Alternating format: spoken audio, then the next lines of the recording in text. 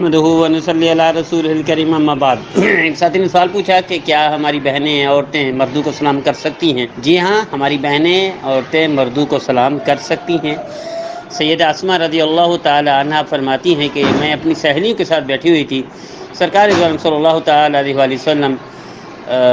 गुज़रे तो आपने सलाम फरमाया और इसी तरह सैदा उम्हानी रदी अल्लाह तहा वो फरमाती हैं कि मैं हाजिर हुई, मैंने सलाम किया तो नबी करीम सल्लल्लाहु अलैहि वसल्लम ने खुश आमदीद, मरहबा मरहबा ये इरशाद फरमाया।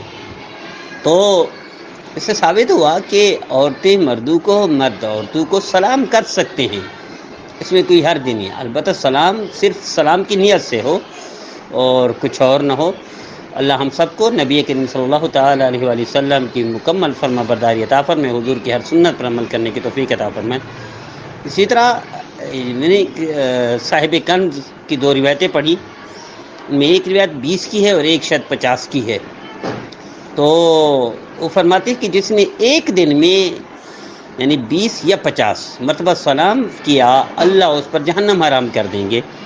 तो हमारे लिए क्या मुश्किल है हम एक दिन में इतने, यानी फर्द करें बीस हो या पचास हो, हमारे लिए सलाम करना क्या मुश्किल है? कोई मुश्किल नहीं।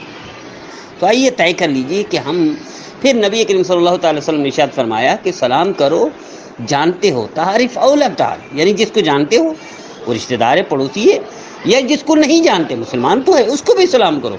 हम जिससे मतलब गर्ज या जानते हैं, जिससे कोई ताल्लुक है, उसको तो सलाम करते हैं, और बाकी को सलाम नहीं करते, ये भी गलती है हमारी।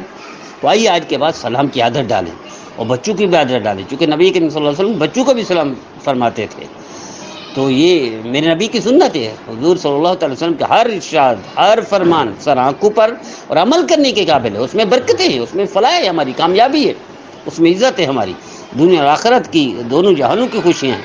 मुझे उम्मीद है, मेरे भाई, मेरे बहनें इस पैगाम को सुनेंगे, दूसरों को भी सुनाएँगे, खुद भी अमल करेंगे, दूसरों को भी कराएँगे।